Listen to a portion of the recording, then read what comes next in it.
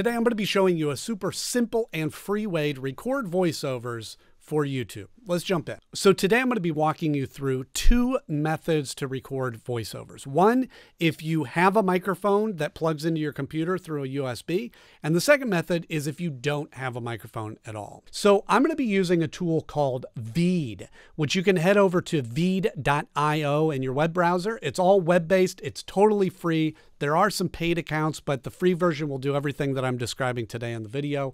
And I'll also put a link in the description so you can just head right over to this. And for this example, I just loaded in a little screen share video I did of GarageBand.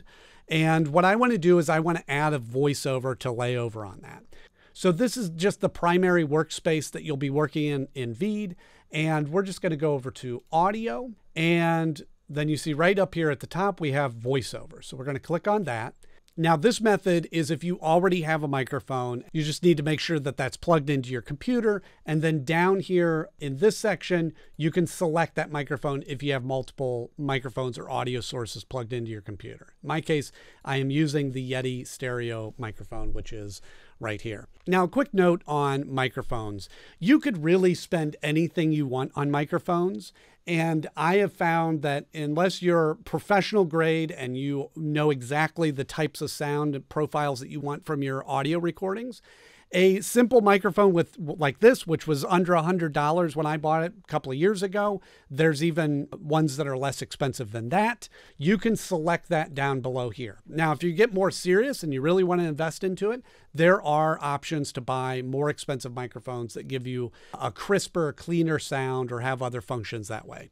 For what I'm doing, I find this Blue Yeti microphone to be very adequate. Once you have that microphone selected, all you need to do is head over to where it says record and start talking. Now it's going to play through on the timeline so you can see where you're at in the video.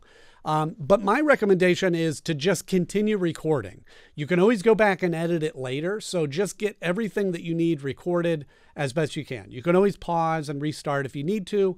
But if you have a script, have the script up on the screen so you can read the script and record at the same time. Uh, let me just do a little sample here. We'll hit record and it gives you a little countdown here. And this here, we are looking at the GarageBand app for the iPad.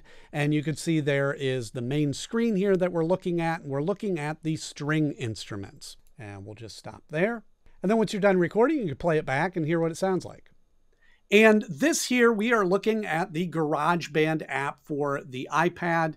And you can see there is the main screen here that we're looking at, just like that. From there, you could go to another spot, record a new section. Now we're going to talk about recording the strumming of your guitar in GarageBand. As we strum this on the iPad, you can see that it makes the noises we need to.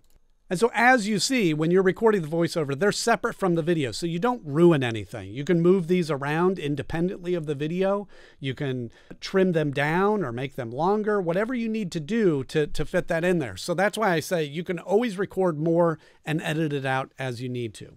So that's one method to get a voiceover in there. But let's say you don't have a microphone or you don't like the sound of your voice or you don't want to put the time into recording that yourself. I'll show you method two, which also works in Veed here to get a voiceover without a microphone. So we're just going to click done and get out of this. And then what we want to do is we're going to go up here to AI voice, click on that. And now you see you have a section here that you can add your script into. So I'm just going to copy a part of my script here and paste it in there. Now there is a character limit on the free version, so you may need to upgrade if you have a lot more that you need to record in there. Uh, then you can switch the languages down here. You can go through and preview different people. If you don't have a mic, you can generate a. If you don't have a mic, you can generate a. There you go. That's a good good one there. And you just click generate and it just takes a few seconds to create that clip. And then once that generates, it'll create a new audio clip down here. And then the same rules apply. You can edit that, you can trim it, you can move it around independently. So if you don't have a microphone or don't want to record your own voiceover, you could select the voice that you want and be able to add it into your video that way.